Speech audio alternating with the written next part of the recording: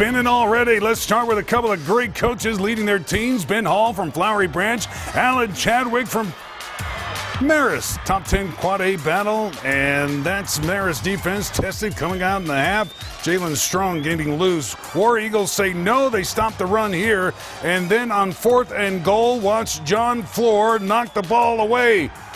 Marist shuts him out 20 to nothing.